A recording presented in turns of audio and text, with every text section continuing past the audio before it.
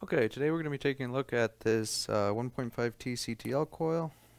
So I'm going to start by taking off the bottom screws. There's actually, most of them are actually missing when we got this. So yeah, most of these are all missing, except for two. And this should release the back cover here. Yeah, there's only two screws on the um, back of this. Let's see. Here we go. That's the bottom case. There's another antenna right here. But you can't see it, but there's another antenna element up here. So let's set this down in a safe place. Put this right over here. Alright, let's grab our meter and start checking stuff out. So, this one's a little bit different from the others. So let's have a look. And first, let's see if we can see any physical damage. That's the first step on this. This is obviously too big to fit under my microscope. So I'm going to start by just inspecting it and see if I see anything that looks off or broken. So a lot of times you'll get broken traces and connections. So far, I don't see anything obvious. Coax connections are good.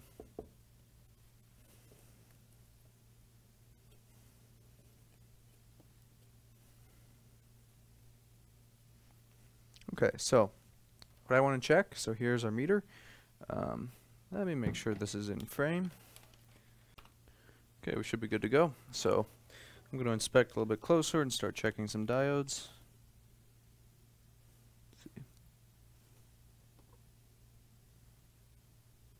have to lean over to see. Let me put this somewhere so hopefully you guys, you guys should be able to see this so I can see it too. It's kind of important that I see. Okay, we're good here. Should be good.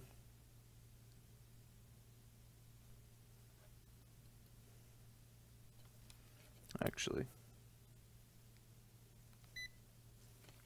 This is what I wanted. I'm dumb. So basically what I'm doing right here, so these are ceramic capacitors. Um, you don't want to, if there's a short, so if you can read continuity across them, that is not good. That means they're bad. So we should have some um, uh, some um, unidirectional um, resistance across it like we're getting like that. So these are good. No issues here. But if we have a short, if we can read directly across it, that would not be good. So same with diodes, we should be able to read one direction and not the other. So that's what we want. If we were reading both directions, that would mean the diode is bad. Let's see, this is just an inductor, so we should get nothing. Yeah. Good to go. We'll come back and check these resistors more in depth later. So I may have to take this little board off to check on the other side. Um, it is soldered right here. Um, but let's continue on. So this first element Okay, now this, let's see, is this one the same? It is. Okay, so never mind, I see the circuit. Okay, so that's okay. There's nothing wrong with that right there. So let's move on to this one. Remove the meter right here. Okay, so same element, same exact type thing. So I'm just going to quickly check stuff.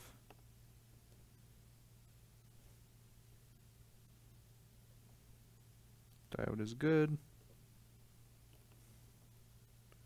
Caps are good.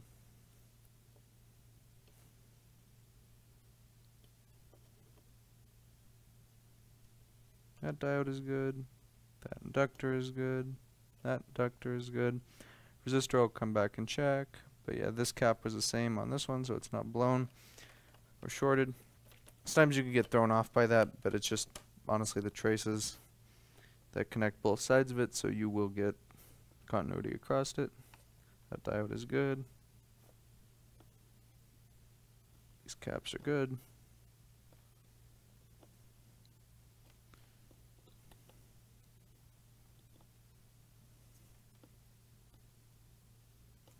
All good here. Move on to the next one. I want to make sure this meter remains in frame. Should be good there. Right here.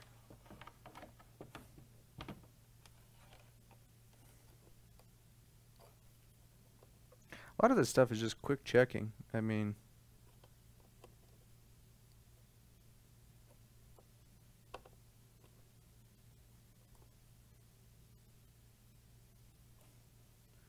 diode is good, coil is good.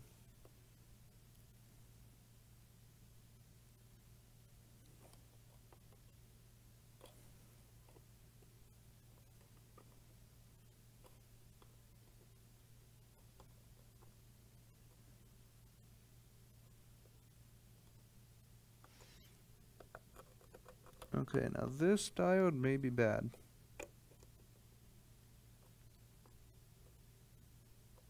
In fact, nope, that diode is good.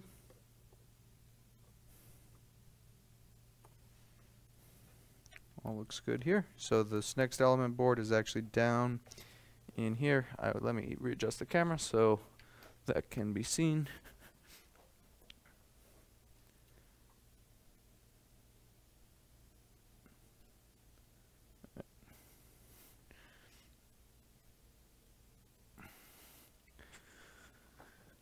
So each of these are the exact same antenna element. They're all the same. They're just in different spots. Most commonly on stuff like this, we're going to get blown diodes. But all these are good. Though actually there is not a known problem with this coil. This is just a diagnostic to see if anything's wrong with it. And so far I think this one's perfectly fine.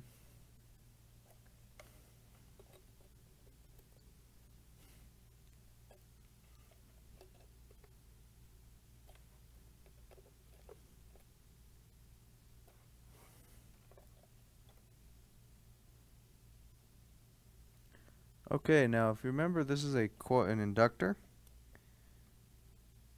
And let's see.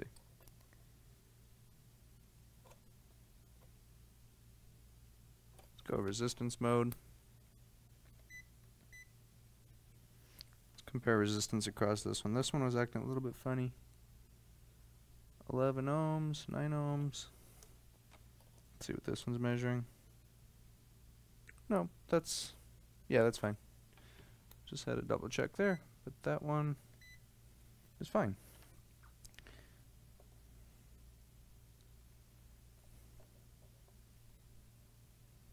These caps are good on this element.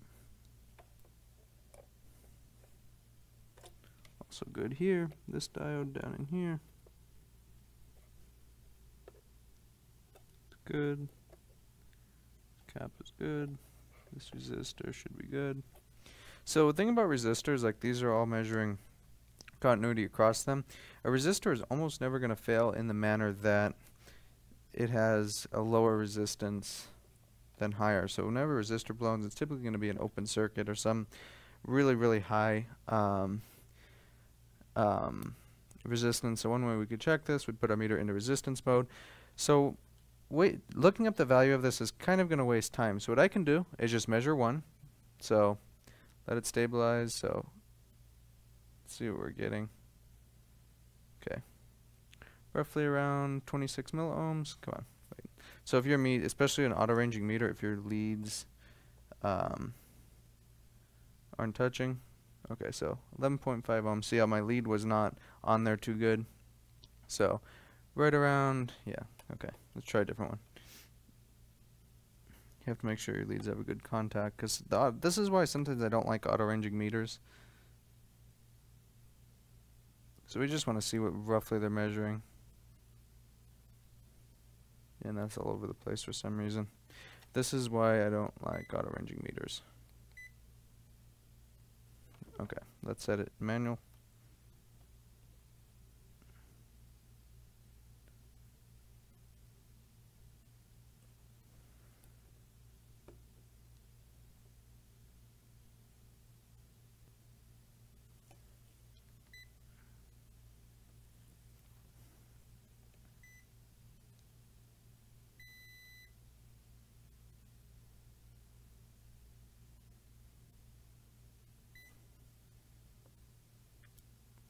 I just want to see if they're roughly measuring the same, and so far they're not.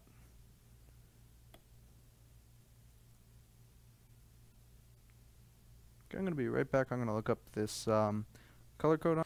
Okay, so these are 82.4 um, kilo ohm resistors, but the thing about these is that it's in circuit, we cannot actually measure this. So in order to measure each and every one of these, we'd have to take them off, and doing so is not going to be practical. So what I'm going to do is just make sure that they are roughly reading the same amount in continuity mode, um, because if the resistor is blown in the circuit, there's likely going to be, is likely going to read higher than a normal one. So you can see roughly these are, okay, so this one's a little bit, nope, that one's good.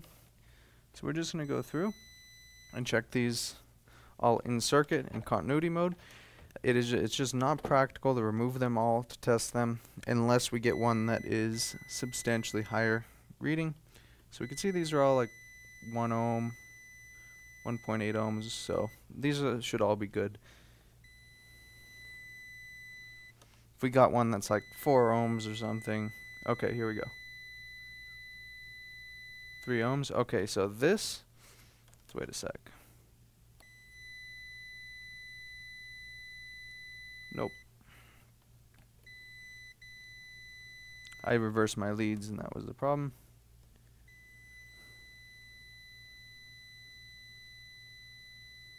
These are all the same value-wise, so that is not of concern. Um, let's go ahead and check these caps right here. Let's go back to diode mode here.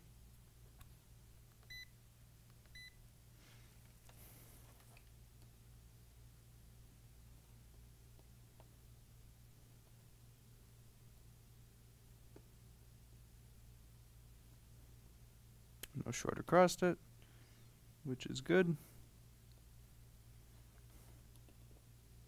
Whenever these crack or anything like that, you'll get a short. So as long as we're getting OL on the meter, these are most likely good. A ceramic capacitor typically is not going to fail in a way that the value is going to be off. Um, they just don't fail like that. Electrolytic caps do and can, but ceramic caps like these aren't going to fail. So if you have a I forget what these are, but if you have a, a let's say a 100 microfarad ceramic capacitor, it's not going to become like 20 microfarad over time. It's typically going to stay at the same value, and if they fail, they just short. At least that's my experience with ceramic capacitors, and all of these seem fine.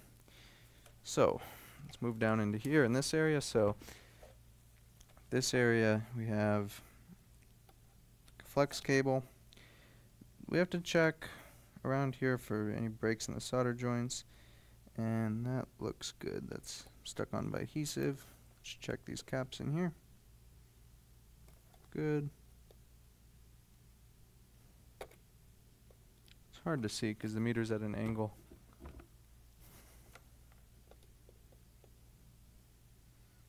It's good. Also good Now this one right here is indeed broken. I could see it. It's hard to see. Um, let me actually, I'm going to have to look at this under the microscope. But one of these caps, the end is all messed up from physical damage. Most likely someone was working on this before and chipped an end off of it. That would definitely cause an issue. So anytime you take a chunk out of the capacitors like that, please don't reuse them. I've seen on boards that people have taken a chunk off of them and kept them on the board. Don't do that. They're not going to work right. So that could be our issue with this coil right here. So, one less element. It's in diode mode. Yes. Okay. Someone's replaced this diode before.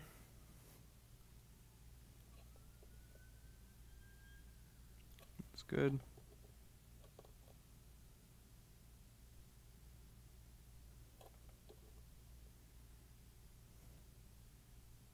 Good. Inductor, it's good.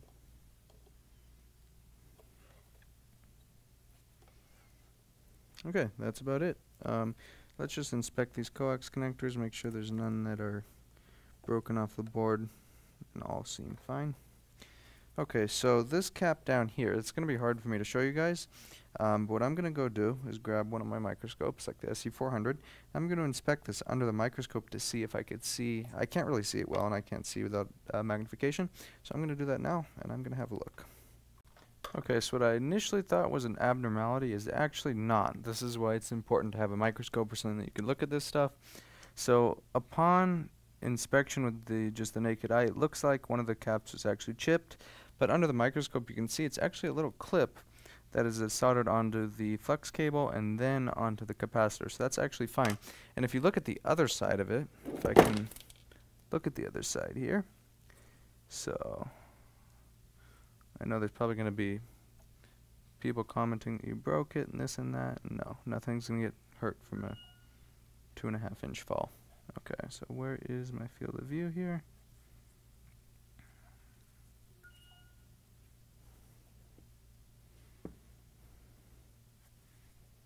Hard to find sometimes. But if you look at this side, so I'm trying to find it. Let me put my hand on it though. Okay, right here. If you look at this side, it's actually the same. So one way to tell is looking at both sides. The, it, it looks exactly the same. So it's not actually chipped. It's just um, how that's attached to the coil. Most likely for drop resistance and stuff like that, they'll put a little uh, spring on the cap so it does not break in the connection, especially in like a flex cable like this that's designed to flex. So that's perfectly normal, no issues there. Okay, and this little thing right here, little screw, um, when I was moving this here, I noticed something was rattling, and sure enough, this was loose down in here. So, I wonder where this went. Can't find it, but it's the same type of screw that goes on um, these little boards and none are missing so most likely what happened is somebody replaced they most likely lost one of the screws. Um, it was probably sitting down in here so they just put another one in and left this one in there.